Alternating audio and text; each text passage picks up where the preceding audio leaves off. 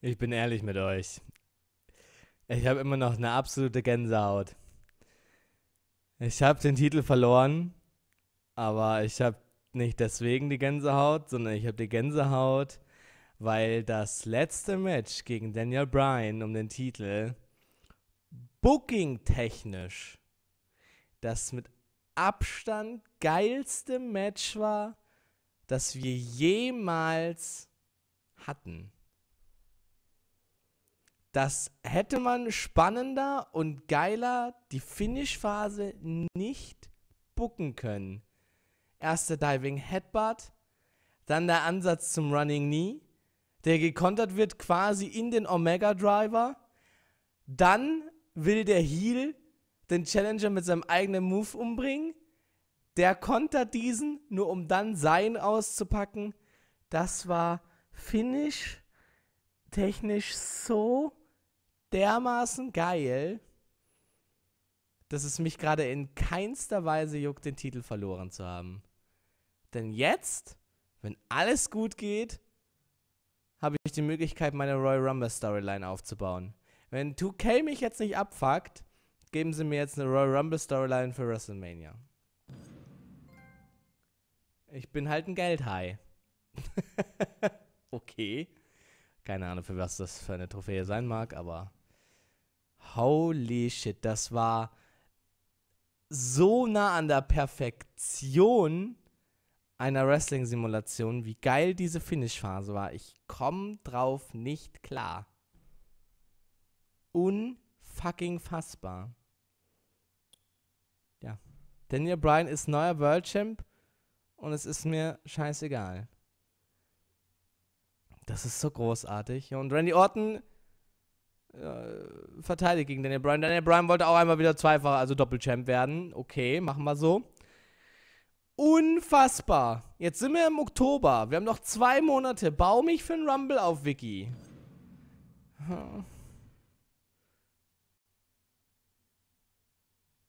Moment mal.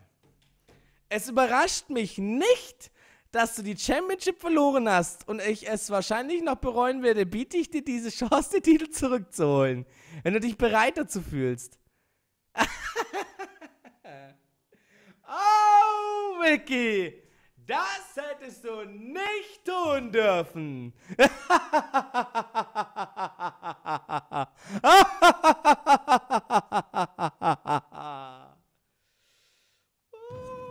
Und der nächste 5-Sterne-Klassiker. Ich geh kaputt, Alter.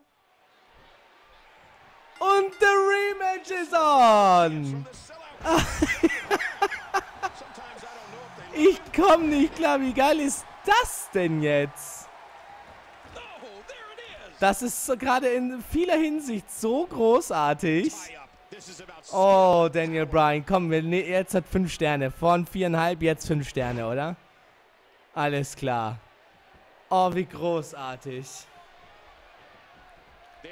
Ach Gott, das ist so gut. Wie gesagt, das war, das war für mich das Match.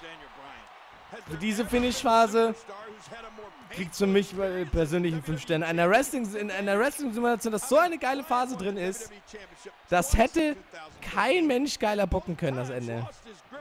Das war, und das so out of nowhere. Ich, ich wünschte... Oh Gott. Ich freue mich so hart, diese Kommentare zu lesen. Ne? Ich kann die natürlich erst äh, äh, an dem Tag jetzt lesen, wo ihr diese Folge jetzt guckt. Ähm, ich bin so hart gespannt, wie ihr diese Phase, hoffentlich, ob ihr die gefeiert habt. Das war so gut. Das war in vielerlei Hinsicht einfach. Es muss so spannend zum Gucken gewesen sein. Ich meine, ich, ich sehe es ja selber. Nö. Ich sehe es ja selber oft, äh, äh, äh, wenn wir im Universe-Modus sind und da gibt es dann Matches wie, wie Cabana Undertaker, wo der Cabana aus zwei Tombstones auskickt. Und ich nur denke, das ist so spannend zum Zugucken. So muss das eine. Wäre das im Universe-Modus passiert? Genau diese Phase als Finish. Ich wäre vollkommen kaputt gegangen. Hätte ich mich nicht auf, auf mich konzentrieren müssen, sondern hätte ich mich auf das Match. Das wäre für mich das so ein Highlight gewesen. Oh mein Gott, ey. Oh mein Gott, was für das. Ich, ich bin wirklich geflasht. Ich, das passiert mir nicht häufig. Aber da bin ich jetzt echt total geflasht von. So, und ab zum Timekeeper.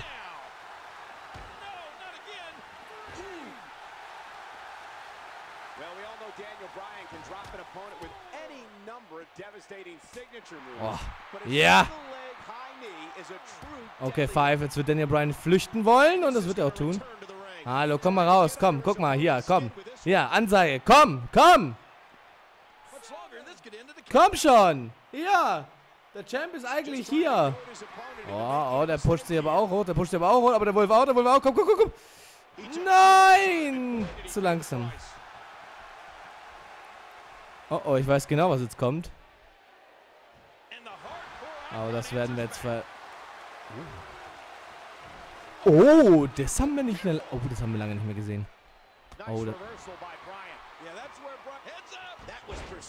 Okay, und Japanese Dropkick. Nein! Nein! Nein! Yes!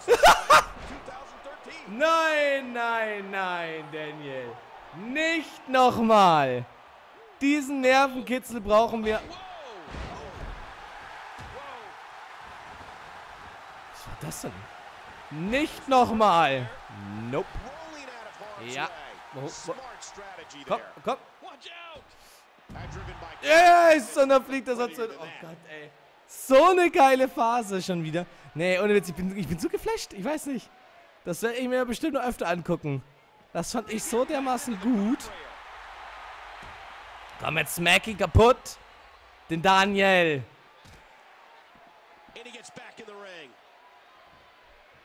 So, können wir das besser machen?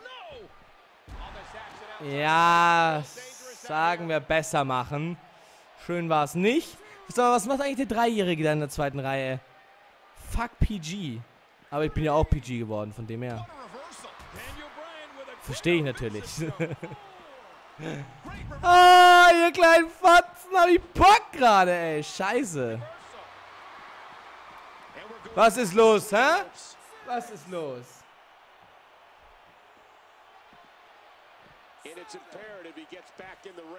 Ja, sowas ist gefährlich. Ja, genau deswegen. Schöner Suplex. Man, der kriegt aber auch echt kacken viel Punkte für... Oh, oh. Und die MMA Elbows. Ich darf jetzt hier nicht zu viel, also zu viel aus dem Match rausholen, sonst verliere ich's.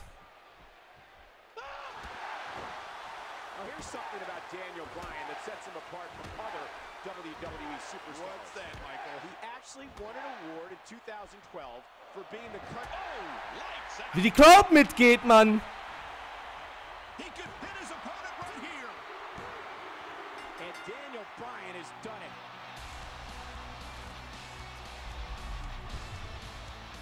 And here's just some of the action. We, we got a couple of highlights here. Let's check them out. Here is your winner and still World Heavyweight Champion, Daniel Bryan. Absolutely amazing. We knew he felt he had to win this one tonight. I mean, there's absolutely no way to underscore how big this victory is. Perhaps the biggest in his life.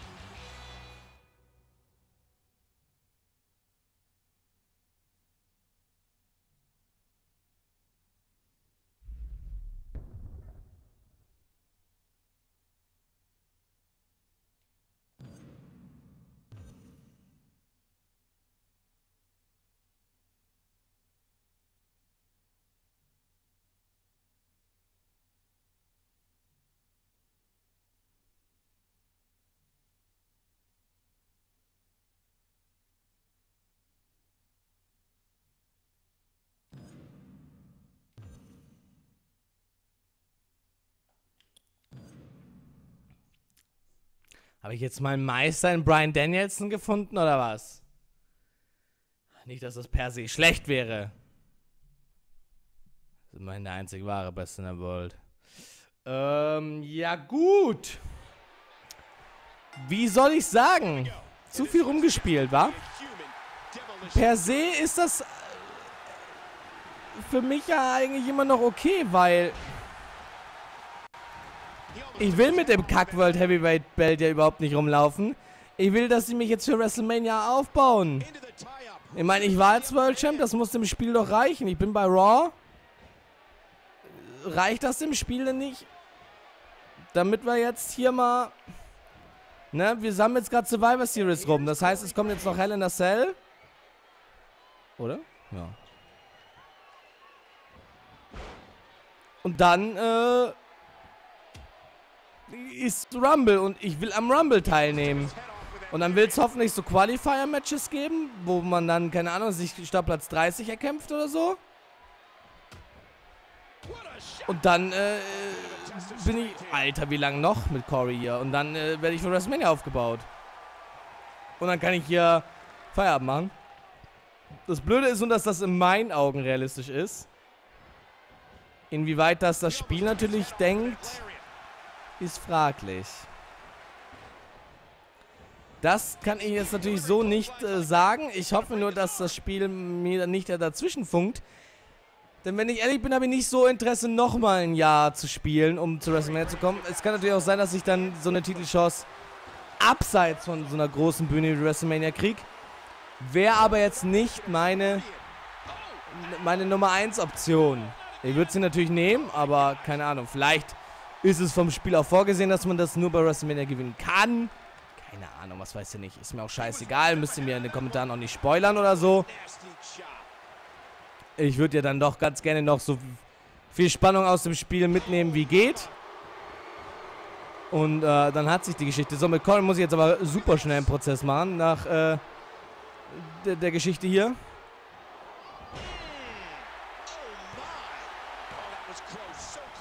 Ah, den. Da wird er natürlich auskicken. Ich habe aber ein bisschen die Befürchtung, dass er. Manche Matches gehen so schnell, dass ich mir ziemlich sicher bin, dass ich sie mit einem Finisher nicht äh, beende und der Omega Driver wird zu 100% ein Finish geben. Ja, guck mal, der ist gerade mal gelb angeschlagen. Kann natürlich sein, dass das dann so noch nicht funktioniert. Und ich will auf jeden Fall, dass mit dem Omega Driver ein Ende findet. Oh, was nie, ey.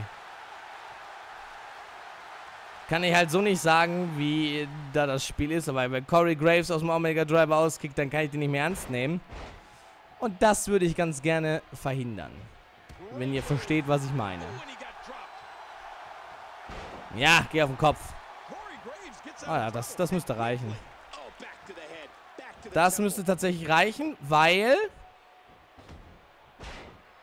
Ich denke mal, mit dem Finisher wird er dann schon rot werden. Hoffe ich. Ja, komm, Corey. Guck mal, da ist keine Stimmung.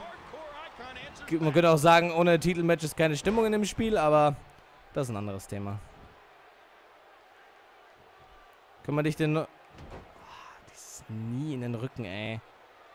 Das ist echt nicht schön, muss ich sagen.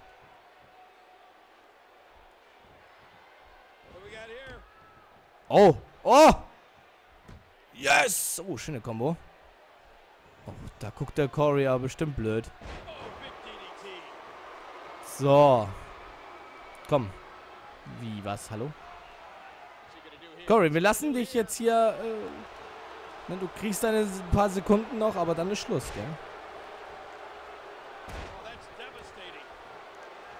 Ah, keine gute, keine blöde Taktik von Corey, aber...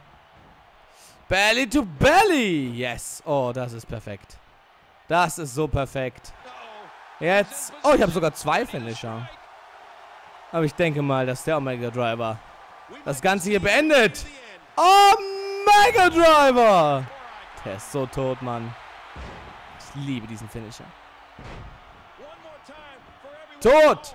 One, two, three. That's what I'm talking about. Ich weiß nicht, ob das eine kluge Entscheidung war, den Titel nicht zu gewinnen. Ich weiß es nicht. Ich hoffe, es war keine Blöde und die bauen mich jetzt rechtzeitig für den großen Titel auf. Ich hoffe es wirklich.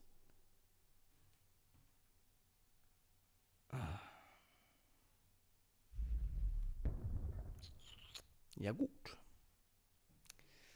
Klassiker gegen Corey Graves. Wer kennt ihn nicht? Ne? Ein gutes Match. Ja.